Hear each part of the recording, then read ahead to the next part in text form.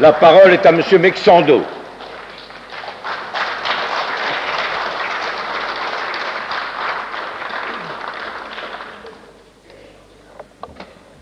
Monsieur le Président, Madame le Ministre, mes chers collègues, le but de mon propos ce soir sera l'examen de l'argument démographique en relation avec le projet de loi et à partir du constat inquiétant à bien des égards de la baisse de la natalité en France.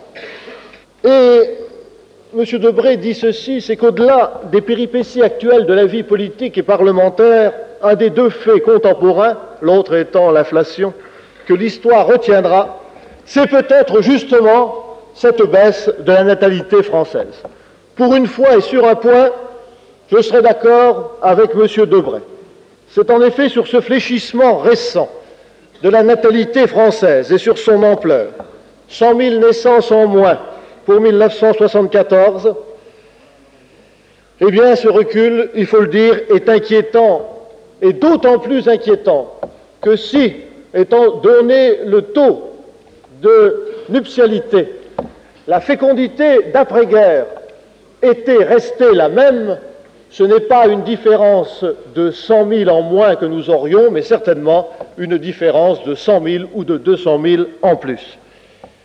Il illustre l'extrême fragilité donc du redressement de la natalité enregistré au lendemain de la Deuxième Guerre mondiale et qui a duré plus de 20 ans puisque vous savez, c'est à partir de 1964 que s'amorce une baisse lente d'abord pour devenir aujourd'hui presque alarmante. Or, il importait que ce redressement fût durable, car en effet, il fallait d'une part corriger les effets de la guerre et surtout conjurer enfin les conséquences de cette révolution démographique qui a concerné l'Europe dans la deuxième moitié du XIXe siècle ou dans la première moitié du XXe et qui se caractérise par la baisse continue et nette de la natalité, mais qui, pour la France, présente la singularité d'avoir commencé dès la fin de la monarchie d'Ancien Régime, c'est-à-dire dans les années 1770-1780.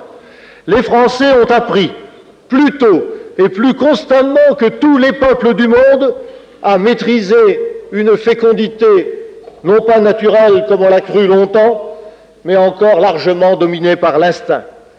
En dépit du caractère rudimentaire des moyens employés, la révolution de la contraception a gagné progressivement toutes les classes, toutes les régions, en suivant le modèle des classes supérieures.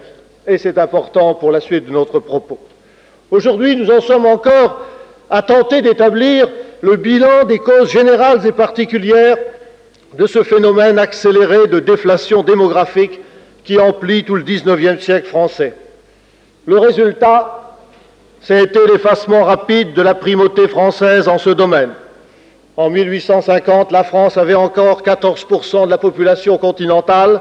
En 1914, elle n'en comptait plus que 9%. Désormais, elle était investie par des États organisés et bien plus nombreux qu'elle. On comprend donc que la guerre, survenant dans ces conditions, ait frappé des villages, des régions de façon irréparable. Et que dire de l'entre-deux-guerres, marqué par l'effondrement du taux de reproduction et où les légers excédents, dus surtout aux apports d'immigrés, firent place après 1935 à des déficits. Aussi, le redressement d'après-guerre a représenté un véritable sursaut pour empêcher la, nation entière de glisser vers un état de sénescence, et comme il venait comme en réparation d'un déclin amorcé un siècle et demi plus tôt, il était souhaitable qu'il se prolongeât longtemps encore. Et qu'il soit déjà en voie de s'interrompre ne laisse pas de nous inquiéter. Sur ce constat un peu désabusé, sur les causes et les aspects de la dénatalité française au cours des siècles et des décennies précédents, je crois qu'un large consensus existe ici, comme chez les historiens ou les démographes.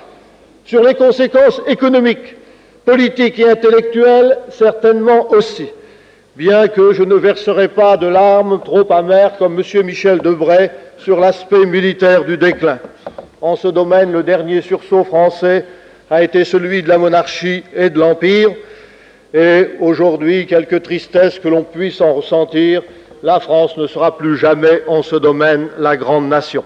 Il lui reste d'ailleurs bien d'autres moyens d'exercer son magistère et pour lesquels, je vous l'accorde, le dynamisme démographique est requis.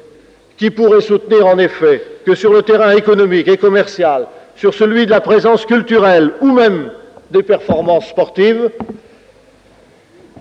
la réussite est liée à la présence d'une jeunesse nombreuse et offensive, pour peu qu'on veuille ne pas la laisser en friche. Sur cette exigence nationale, l'accord peut donc se faire, mais ce que nous récusons avec force, c'est la responsabilité qu'on cherche à faire supporter, s'agissant du fléchissement démographique, à toute législation légalisant l'avortement et singulièrement au projet de loi qui nous est proposé avec les amendements apportés par la Commission.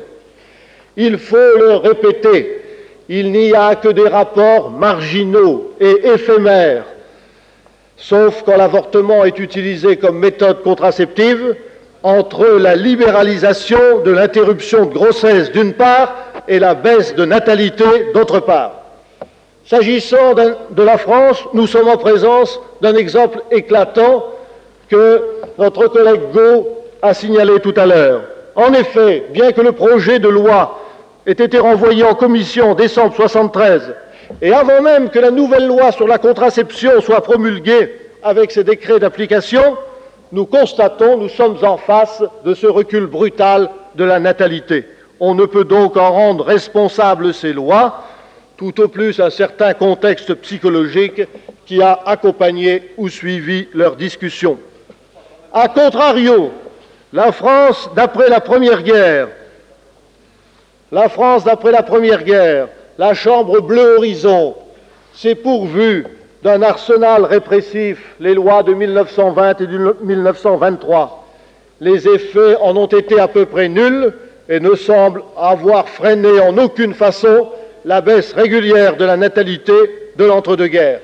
Il a fallu à la fois le sursaut psychologique du Front populaire et une législation plus favorable à la famille pour que la tendance négative fût inversée.